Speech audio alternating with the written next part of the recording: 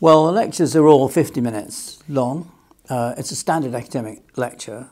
Uh, it's a tradition that derives from uh, universities where you have to start at five past the hour and end at five to the hour to allow the students to rush from one lecture to the next.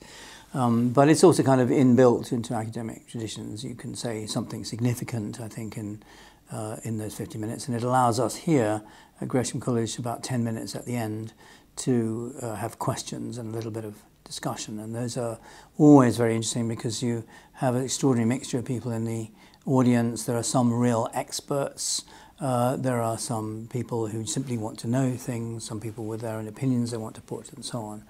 Um, and I find most lecturers, like me, uh, somehow 50 minutes after I've been teaching in university for several decades is a kind of inbuilt clock. So even if I intend to speak for 40 minutes, it always turns out as being 50 minutes.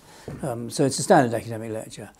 We do um, also put onto the website extracts of lectures of shorter nature because not everybody is going to sit through and watch 50 minutes at one stretch.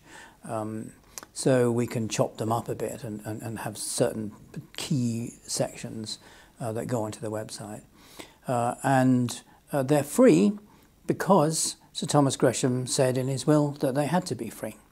And so we can't charge for them uh, we, we in any way at all, and we can't associate ourselves with any lectures that are that people have, that require people to pay an entrance fee. And I think that's an extremely good thing, and there's no reason why they shouldn't be free because uh, we're supported by the income from the Royal Exchange.